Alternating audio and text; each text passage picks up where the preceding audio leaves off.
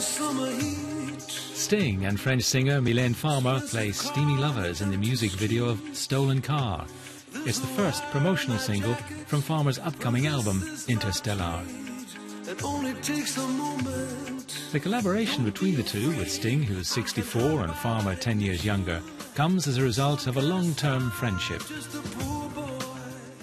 Uh, about the song, that it's a great song, that I'm very, very, very happy to do this and to share mm. this, and that I'm going to kiss a Sting on the cheek.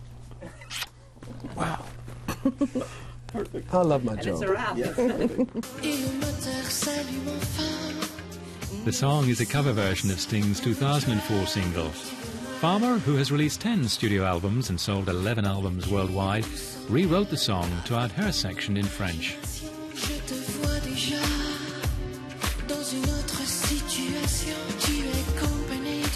Sting compared recording with the French singer like dancing with a partner.